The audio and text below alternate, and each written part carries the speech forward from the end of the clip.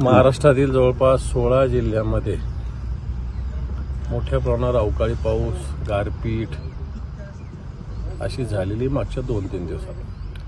खरं तर हवामान खात्याने अंदाज मागच्या पंधरा दिवसापूर्वीच वर्तवलेला होता.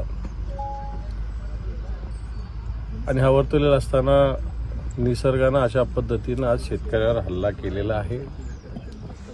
आज या बुलढाणा जिल्ह्यातल्या काही गावात आम्ही भेट देत असताना जी परिस्थिती ती अतिशय भयावह आहे. पूर्णच्या पूर्ण म्हणजे इथं काही असं नाही का दहा टक्के नुकसान वीस टक्के नुकसान हंड्रेड पर्सेंट शंभर टक्के नुकसान या ठिकाणी झालेलं आहे.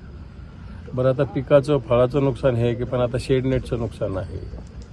ठिबक सिंचनाचं नुकसान आहे. पाईपलाईनचं नुकसान आहे. आता हे पण भरून कसं काढायचं हा प्रश्न आहे. आता सरकारी खाक्या प्रशासकीय यंत्रणा फक्त पिकाला देतं.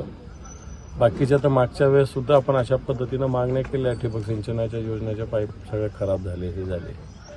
मला असं वाटतं या ठिकाणी सरकारने भरीव मदत द्यावी यासाठी आम्ही सगळे मिळून निश्चित या शेतकऱ्यांसाठी आवाज उठवण्याचा प्रयत्न या महाराष्ट्रात निश्चित करू.